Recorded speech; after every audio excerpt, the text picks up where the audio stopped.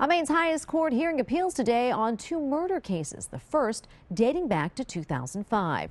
Dave Harridan is currently serving a 52 year prison sentence for beating Maxine Witham to death at the Eastland Park Hotel.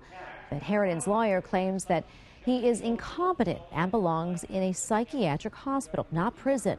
He says the courts were wrong to remand him to the Department of Corrections and not the Department of Health and Human Services.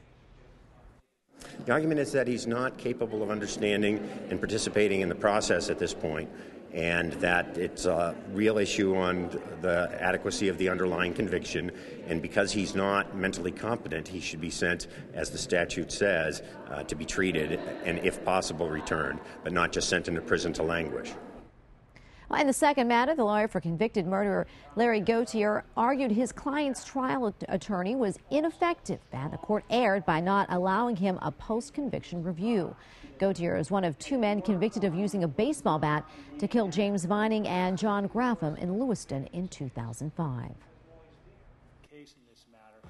There is strong forensic evidence indicating that the appellant Gary Gauthier was present during the attack but there was also strong, compelling forensic evidence indicating that he was not the attacker.